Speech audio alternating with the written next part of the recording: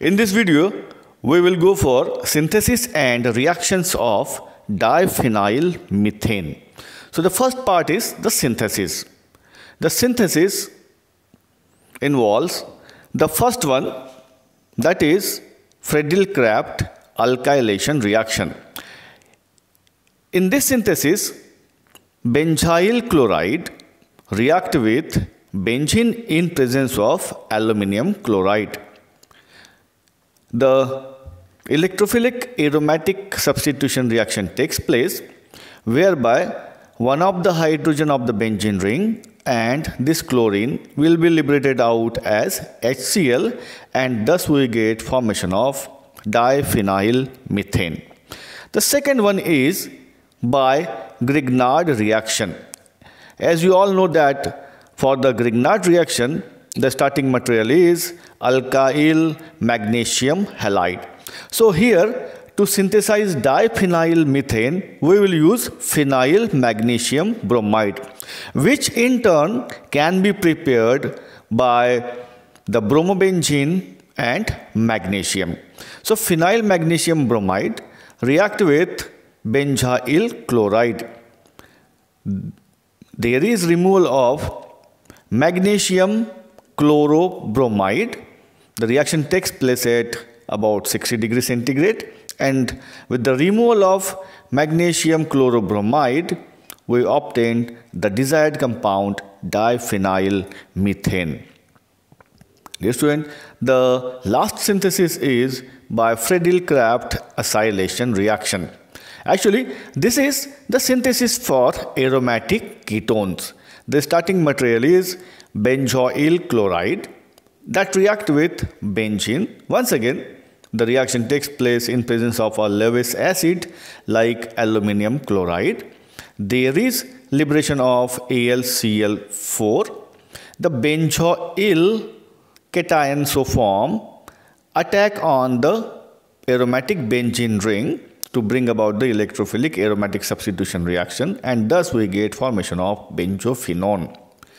The benzophenone on reaction with zinc amalgam in presence of hydrochloric acid liberate out a molecule of zinc oxide and with the attachment of the protons from hydrochloric acid the desired compound diphenyl methane is obtained. So these three are the synthesis of diphenyl methane. Now let's go for the reactions of diphenyl methane. The first example is nitration reaction. Here we can see that with the aromatic rings the methylene group is attached. If we consider one of this aromatic ring, we may say that the benzyl group is attached on the benzene ring. And being alkyl group, this is the electron releasing group. So this group impart the electrophilic substitution reaction on the benzene ring at either ortho or the para position.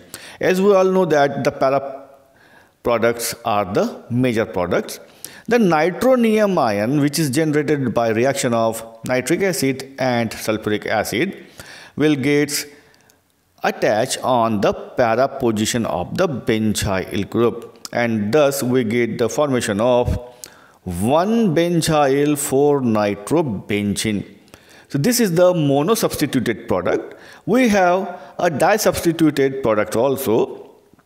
The second nitro group will attach on the para position of the second benzene ring and thus we get 4,4-dinitro diphenyl methane as the other product. The second reaction is the halogenation reaction. Here the starting material is diphenyl methane which when react with bromine in presence of FeBr3 undergoes the classical bromination reaction that is the example of halogenation and which is under the electrophilic aromatic substitution reaction. Once again, the substitution takes place at the para position of one of the benzene ring. The product obtained is 1 benzyl 4 bromo benzene. Now when diphenyl methane is reacted with bromine in presence of ultraviolet light, the reaction is the free radical substitution reaction which chiefly takes place on the benzylic carbon that is this carbon.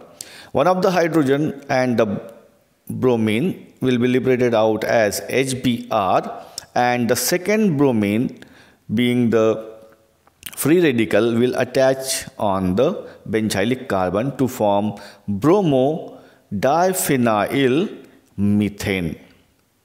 The last reaction is the oxidation reaction. The oxidation clearly indicates the removal of the hydrogens from the benzylic carbon. So diphenyl methane on reaction with the oxidizing agents undergoes oxidation to form the benzophenone. So dear students, this is the synthesis and reactions of diphenyl methane. Thanks for watching the video. Please like, share and subscribe. Thank